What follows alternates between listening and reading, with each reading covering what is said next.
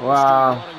The shed is crazy, bro. It's like, yo, it's like a nanosecond shed. Like, like a nanosecond. Like, you literally do it in like a nanosecond. That's how good them niggas is um, And, um,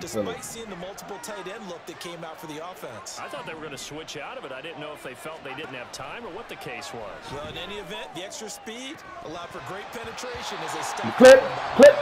You see that?